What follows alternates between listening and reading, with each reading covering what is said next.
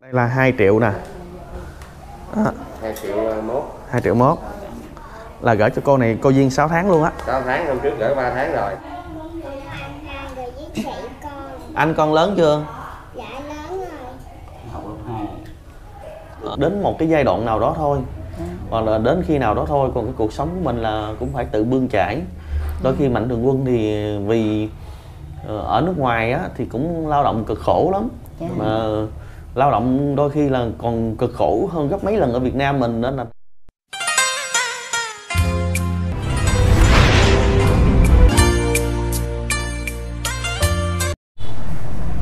Dạ Bùi Hồ xin chào cô bác quý anh chị ạ. Hôm nay thì Bùi Hồ đang có mặt tại ờ, nhà trọ Tướng Hậu cái phòng trọ mà nơi cô Duyên đang ở cô bác quý anh chị để mà thăm những cái hoàn cảnh sống của cô Duyên hiện nay như thế nào rồi. Rồi chào cha. Rồi ờ, vô đi cô. Hả? Hôm nay là là mình sống sao rồi cô? à, bệnh dịch đi hỏi việc làm khó quá chú ơi còn ở bên cồn thì cỡ này qua đợt hết Rồi được, rồi bây giờ mình tính làm cái gì xong? bây giờ tính đi Ngồi đi cô chú. hỏi việc làm mà chưa có nữa chú ngồi ngồi ngồi Ừ. Rồi nhà ở đây thấy im không? im chú không ổn không được Như hả? Dạ. hai nữa tôi cũng muốn đi bán vé số mà tôi hỏi tiền góp không ai dám cho tôi mượn triệu chứ bả vô màn được tôi tính đi bán ngàn trăm vé số hai ông cháu đi bán mà hỏi hỏi không được. Ừ, cũng mong Người hỏi bây giờ con con cái mình không có cho được đồng nào sao? không có giúp được cỡ này bệnh dịch nó mặn không được nữa chú ơi. Bệnh dịch nó mặn không được. Rồi mấy em dài tôi cũng nhờ mấy cô ở đây nè. Hỏi việc làm giùm mà cổ nói bệnh dịch qua bệnh dịch á cổ hỏi giùm được. Bây giờ có bệnh dịch hỏi khó quá. Chú tới đây tụi mình mà đừng có nói gì tới con tới cái tôi nuôi nó mà tôi quý cái là không được. Nói tới tôi tuổi tôi tức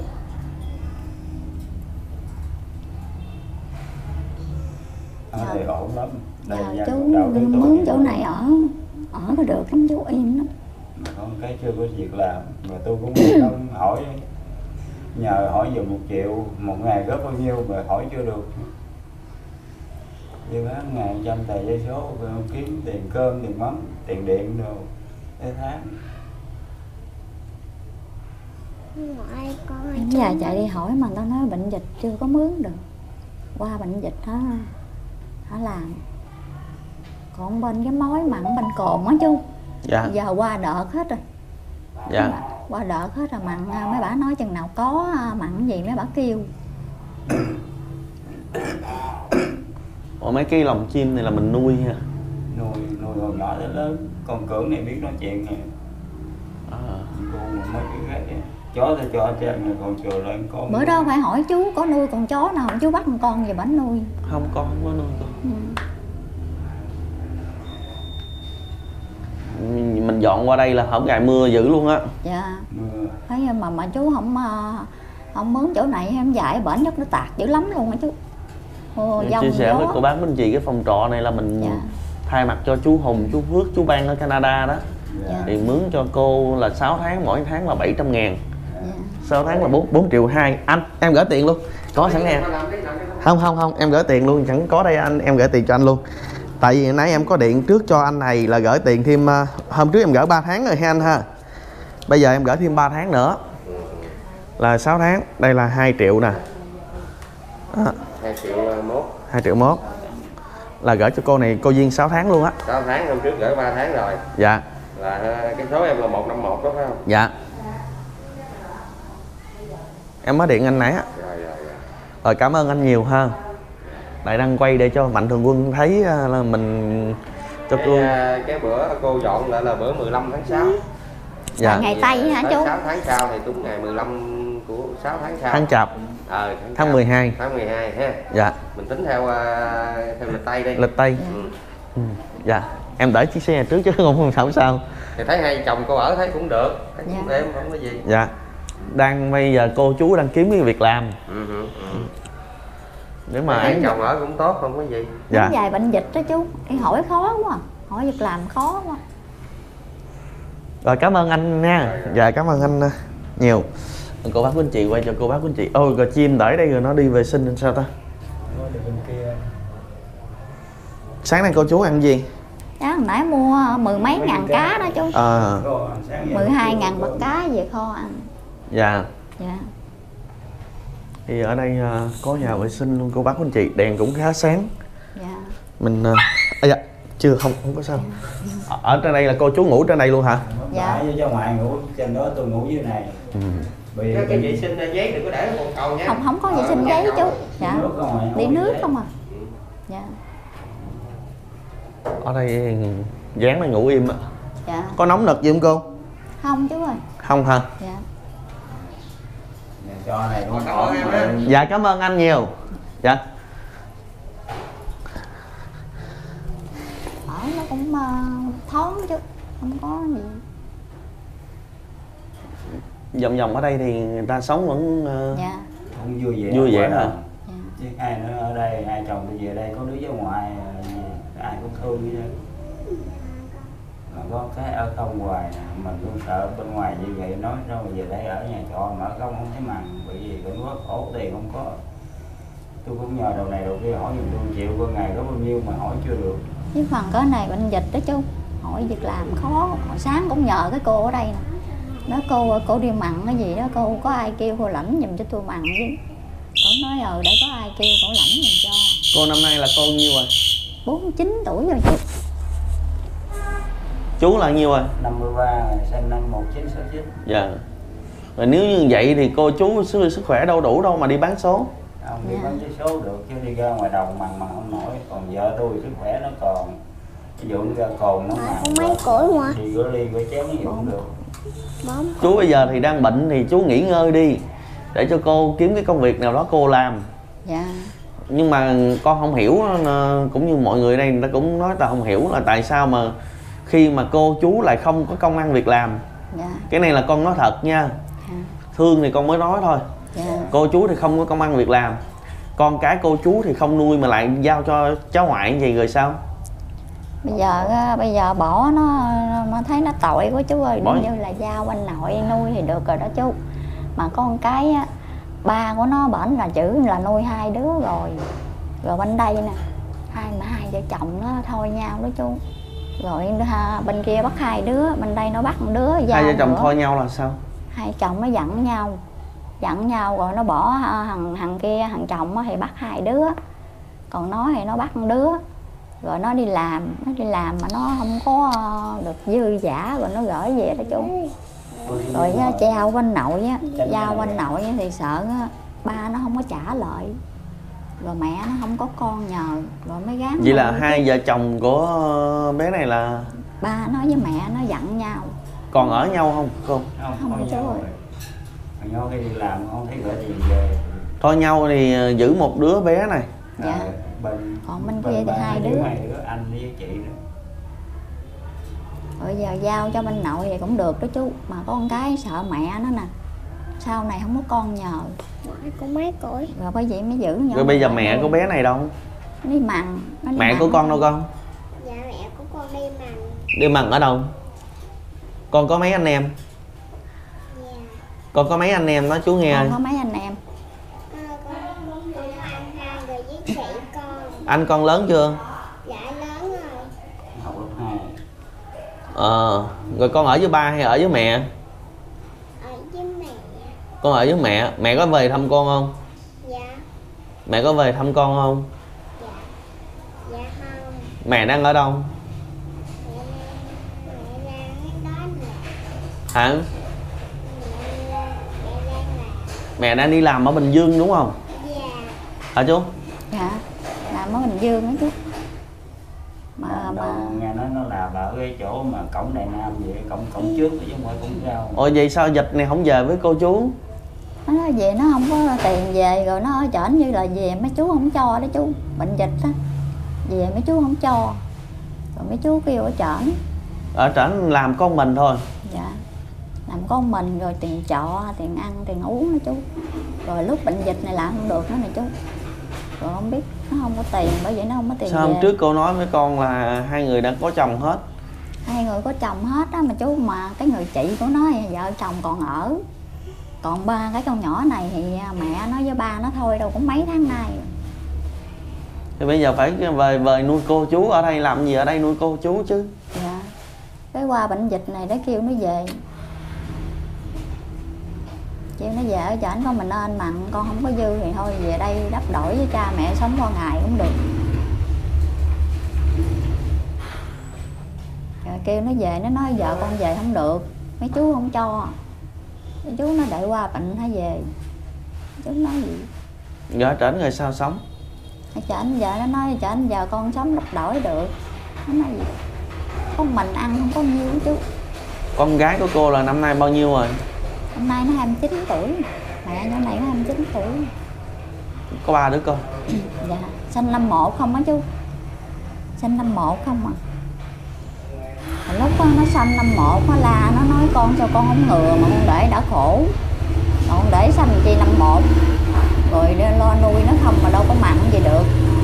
Rồi nó nói con ngừa mà con không có biết ngừa. Rồi tới chừng có bầu có điện qua cho hay giật mình hoài. Nó đã cảnh khổ mà con để hoài sanh hoài với chắc rồi mặn gì ăn được đâu. Rồi khổ. Nó nhỏ còn nhỏ như nó 29 tuổi mà nó cũng còn khờ lắm chứ nó không có ờ, ờ, khôn như mấy người người ta. Cũng còn khờ lắm. Dạ. Rồi cái cảnh chỉ rồi ờ, bắt buộc phải nuôi nhỏ này nè chú chứ không nuôi thì sợ sau này nó không có con nhờ cũng như bệnh ba nó bệnh thì giữ hai đứa Rồi không có gửi tiền về nuôi bé này sao? Lúc nó đi mới có ờ, mấy tháng nay vậy chú. Chảnh mặn có khi mới mặn đây rồi mặn thì ờ, mặn lúc được, lúc không. Lúc bệnh rồi lúc ờ, mà mặn được rồi lúc đau, lúc bệnh nữa nói chung. Rồi không có dư nhiều. Nó nói, không có dư. Chứ con nó nó nó điện về hỏi thăm hoài. Mà con cái tiền bà không có, bởi vậy nó không có gửi. Nó nói, con không mặn được thì thôi về đây sống với cha với mẹ đi. Mà nó nói con có tiền con mới về được. Nó nói gì? Sao vậy được? Bây giờ bỏ cô chú sống vậy sao đành đạn được? Dạ. Cô chú đâu phải là xã hội thì còn rất là nhiều người khổ. Dạ. Và cũng còn rất là nhiều người còn giúp đôi khi có những cái hoàn cảnh cực kỳ khổ hơn cô chú nữa. Dạ. Nó nên là nữ là cô chú cũng còn con gái mà đi làm về mà không không có nuôi được thì ờ, thì tất cả các mạnh thường quân thì giúp chỉ được đến một cái giai đoạn nào đó thôi hoặc là đến khi nào đó thôi còn cái cuộc sống của mình là cũng phải tự bươn chải đôi khi mạnh thường quân thì vì ờ, ở nước ngoài á thì cũng lao động cực khổ lắm. Dạ. mà lao động đôi khi là còn cực khổ hơn gấp mấy lần ở Việt Nam mình nên là nữ Dạ. với lại đồng tiền nó có giá hơn nên là nữ là ờ, thấy những hoàn cảnh khó khăn thì các cô các chú các cô sót dạ. nên gửi về giúp mình. Nhưng mà giúp thì cũng trong cái giai đoạn khó khăn nào thôi. Còn cái mà để mà giúp mình suốt cuộc đời là không bao giờ có nha cô nha. Dạ. Dạ, như nhờ cô chứ với mấy cô mấy chú với chú á giúp đỡ nhưng mà cho. ví dụ như con con nói với cô chú hôm nay đến đây á dạ. thì ờ, ờ, trước mắt á là chỗ ở ổn định như thế này rồi. Dạ. Thì bây giờ cái còn công việc tiếp theo là cô chú phải tự- tự bươn chải. Dạ. Thì bây giờ cô với chú là có có cô có chiếc xe nào không có chiếc xe đạp á chú. Chiếc xe đạp thì qua bên cồn á bên đó có công việc mà xa cô quá sao cô làm được? Như ở bển có thì chạy tới chạy lui được chú mà cỡ này qua đợt rồi chú. Ở bên đó có con biết ở xóm của con có mấy người á người ta Dạ. lật gừng á. Ngày cũng được trăm, trăm rưỡi lật Dạ. lật gừng á nhổ gừng á. Dạ. đó. Ở chỗ nào chú? Bên tân bình đó con. Tân Bình xa lắm. Dạ Dạ, xa dạ, quá dạ, đi đâu đi nổi đâu. Còn ở bên Tăng Long nè chú. Tăng Long này giờ qua đợt hết có chạy qua bển mấy em gài nói mấy chị ơi có làm gì cô con em gái của cô, cô chú là có hay chú về đây chưa? Nó hay rồi chú. Ừ. dạ nói ra nhờ chú á, với mấy chú ngoài nước ngoài giúp cho mướn trọ cho ở. Nó mừng lắm chú mỗi tháng đi làm mà nếu như mà có một mình là phụ nữ có một mình thì dạ. làm mỗi tháng gửi về cho cô chú một triệu hai triệu sống cũng được mà. Dạ. Tại vì còn con cái nữa đâu có giao trách nhiệm cho cô chú được. Dạ. Có con cái nói nó mà nó nói để con à, mà mà qua dịch này con về. Nó nói gì ừ. hôm nay cô có điện con gái của chú bằng zalo được không điện à, mà nó nó xài điện thoại kia không mà chú. Điện thoại nha thứ điện thoại của bắp á. Điện thoại à, thứ kia kìa chứ không phải điện thoại zalo này.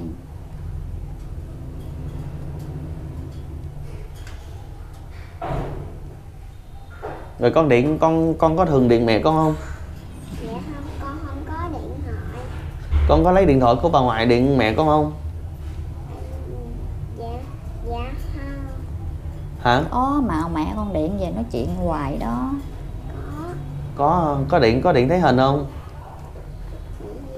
Dạ có. Có thấy hình mẹ không? Dạ có thấy hình mẹ. Ờ đi- vậy là con điện bằng thấy hình mẹ luôn hả? Dạ. Đâu con điện thấy hình mẹ cho, cho chú nghe ơi mượn điện thoại bà ngoại điện coi. Hả? Điện hồi lúc à, hồi lúc nó còn xài á chú thì điện được mà lúc nó nó mà không được nó cầm rồi điện không được vậy đó. Lúc nó mà không được cái nó cầm. Cầm cái mặn được cái có tiền nó chuột vậy đó. Con điện mẹ con thấy hình khi nào? Thấy hình mẹ mặt con mẹ con. Thấy hình mặt mẹ con luôn ha? Dạ. Hôm qua có điện không? Dạ có. Ờ hôm qua vẫn có điện hả dốc. Có điện cho mẹ. Dốc vào nào? Cái gì ai đó hôm qua có không? Dạ có. Ừ. điện cho gì hai nó mà nó kêu mấy hai cũng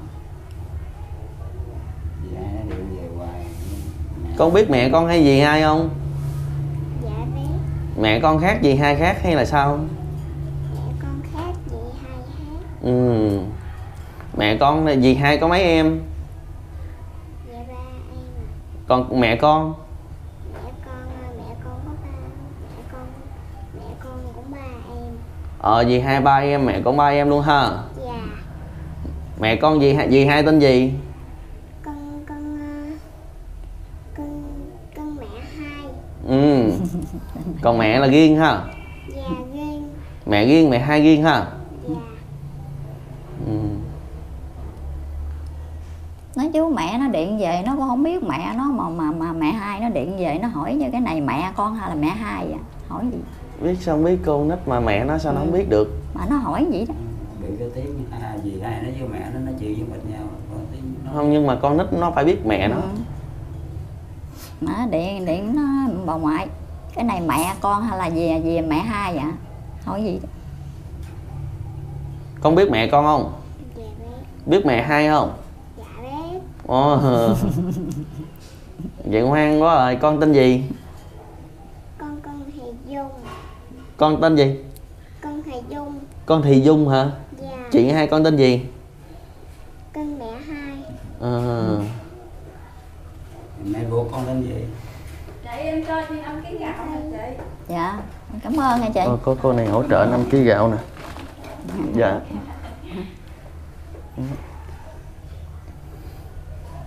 Hôm qua điện thoại mẹ luôn. Con biết bấm điện thoại mẹ gọi mẹ con không điện về mẹ hai hả? Biết mẹ hai biết luôn hả? Dạ. Đâu lấy điện thoại bấm cho cho chú hồ coi coi. Lấy điện thoại à, lấy điện thoại bấm cho chú hồ coi coi. Bấm không không có điện không có điện cho mẹ được zalo mà nó nhỏ này khùng. Không điện cho mẹ hai nó được còn mẹ nó về điện nó điện thoại nó cầm. Cái cái cái điện thoại đưa con. Đó điện không được mà cãi. Để để để cho bé đó bấm đi con điện đi. Rồi con điện hai thì đâu con điện thử coi đâu đâu bấm sao rồi đâu. xếp bạn lại. Bằng không biết rồi đưa cho không không, lại. không để cho bé làm đi. Nó không biết. Nó bé biết luật mà. Cái này nè cái đó đâu phải mẹ con. Ê, rồi bấm đi. Cái đó là mẹ hay gì? Cái đó là mẹ hai nó. Ừ nhưng bữa giờ điện cho mẹ hai nó với mẹ nó sao điện được? Rồi bấm gọi ai? Bắn chiếc cái nút nào? Nút này nè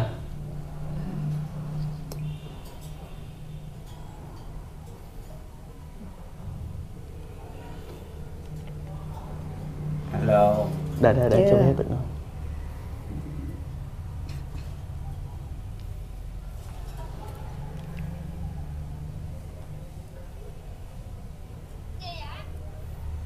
chú ờ, chú Đây, lại đây, ờ, đây, để, để cho bé nói.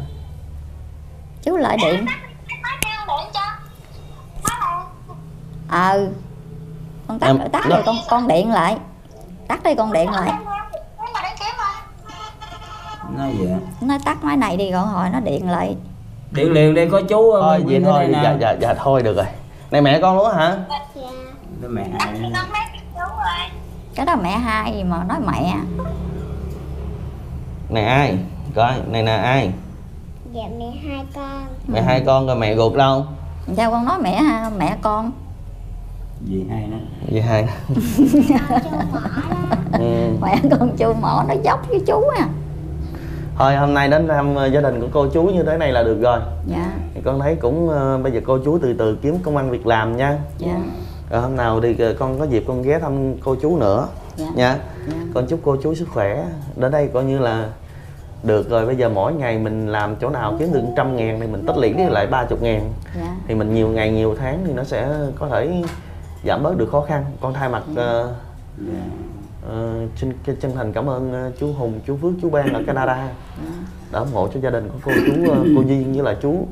Dạ. Vậy có nơi ở như thế này.